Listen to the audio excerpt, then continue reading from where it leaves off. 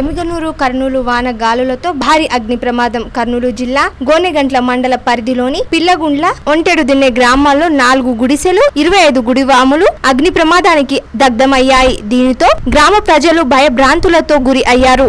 SC colony ప్రజలు అగ్ని ప్రమాదంతో ఊరి బయటకు తరలివచ్చారు. గ్రామంలో అగ్ని ప్రమాదం సంభవించడంతో అగ్నిమాపక సిబ్బంది హుటాహుటిన ప్రమాద స్థలానికి చేరుకున్నారు.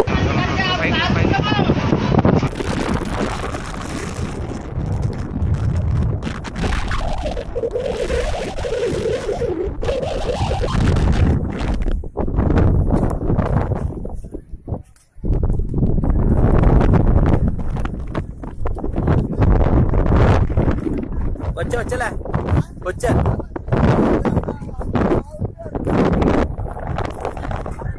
కంటే